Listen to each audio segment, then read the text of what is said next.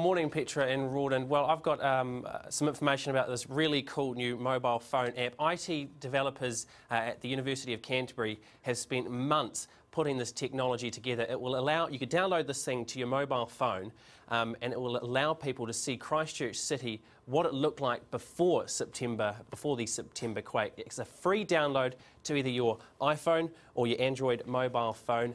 Um, going around the city, these developers spent months putting this stuff together. They went around the city uh, taking pictures of buildings and sites from every possible angle, then collating those images uh, into a 3D virtual image, uh, along with information provided about those buildings uh, from the City Council and Historic Places Trust. So using your mobile phone, you can walk around the city, hold the phone up uh, over a demolished site and actually see what the building looked like before the earthquake, and as well as providing a whole bunch of information about the history of that building. Uh, the, uh, the university says that uh, future work on the application will allow uh, urban planners and architects uh, to get information from people. People can actually type information uh, about comments about the buildings and they can actually use that information in planning for, the, for new buildings to go on those sites. And if you want to know how the application works, there will actually be demonstrations uh, by Vodafone representatives and University of Canterbury representatives at Cashel Mall over the weekend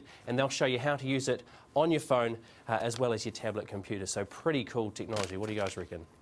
Sounds absolutely fantastic. Yeah, fascinating. Yeah. yeah.